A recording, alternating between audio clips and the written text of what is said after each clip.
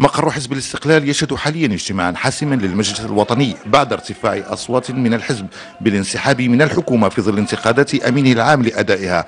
قيادة الحزب امتنعت قبل انطلاق الأشغال عن تحديد موقف واضح من الانسحاب من عدمه. في اللحظة فاش كنتكلم معك ما حناش عارفين شنو غادي يخرج من النقاش.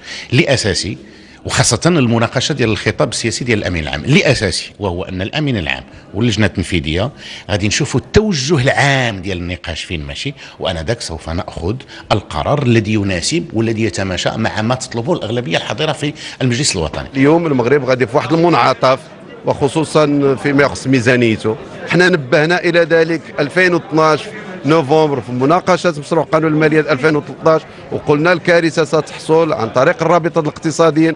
أخ عادل دويري ركز في عدة لقاءات وقال سنصل إلى الأزمة ولكن الاداء لم تكن صاغية الحكومة ووصلنا إلى الأزمة. اليوم تنقول لهم هذه الطريقة لحل الأزمة ولكن هذه حكومة ديال تأزيم الأزمات إحنا لا يمكن أن نستمر في هذا الوضع. أشغال كل دورة على إنجاز الغموض يلف أيضا طبيعة التيار الغالب بين المؤيدين للانسحاب والداعين إلى البقاء في الحكومة. قيادة حزب الاستقلال امتنعت عن إعطاء أي معلومات حول عدد التوقيعات في انتظار جلاء المواقف. الحركة هي اللي انطلقت منذ ثلاث أيام. اليوم تتوج أنه جميع المناضلين والمناضلات يمشوا في الاتجاه لأنه آه، فعلا اتجاه الانسحاب من الحكومة لأنه آه، غالب المبادرات والحركية اللي قام بها الحزب ما استجف معها الطرف الآخر. داخل كأي تنظيم كانت سيارات طبيعه الحال اللي عندها وجهة نظر.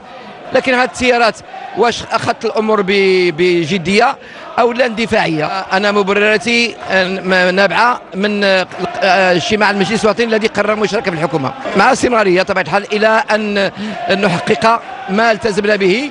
وحتى في هذا الظرف بالذات البلاد ليس في حاجة إلى هزة.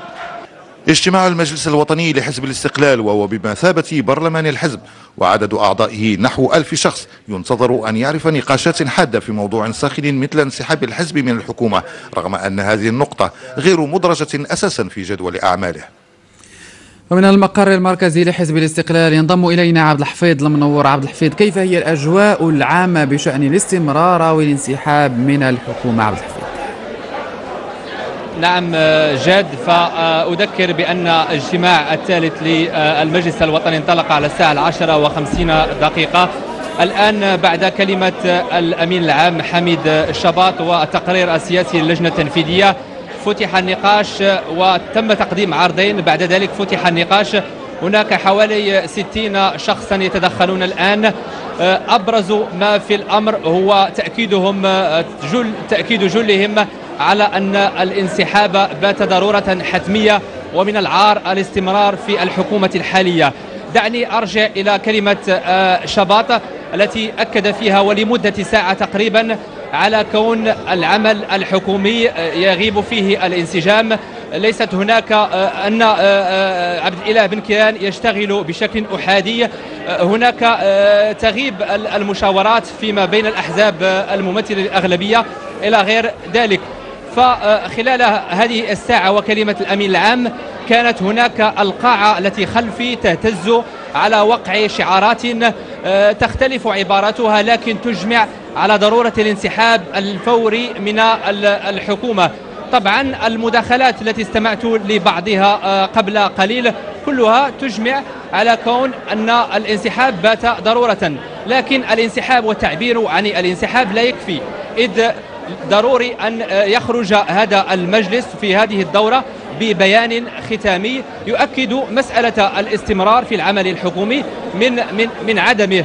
فإلى أن وثيقة هناك توقيعات بشأنها بلغت توقيعات 600 شخص مع الانسحاب من الحكومة جاد. عبد الحفيظ المنور كنت معنا مباشرة من المقر المركزي لحزب الاستقلال بالرباط.